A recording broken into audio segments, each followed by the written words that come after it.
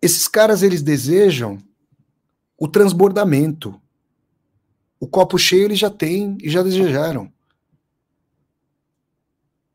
O tédio do desejo repleto, do desejo absoluto, o vazio que se sente é um paradoxo, mas eu estou levando vocês a esse cume escatológico para a gente pensar o limite, para entender que desejar transgressão é uma capacidade de desejar só para quem está no cume da montanha do poder. Vai um mortal fazer isso? O punho do Estado muitas vezes vai abatê-lo como a gente abate uma mosca no balcão de uma padaria. Quando você está acima da carne seca, acima do bem e do mal, é aí que você, num telefonema, fala que vai mandar matar alguém, tem mala de dinheiro, não te acontece nada. Vocês estão lembrando de alguém? Não. Pensem aí.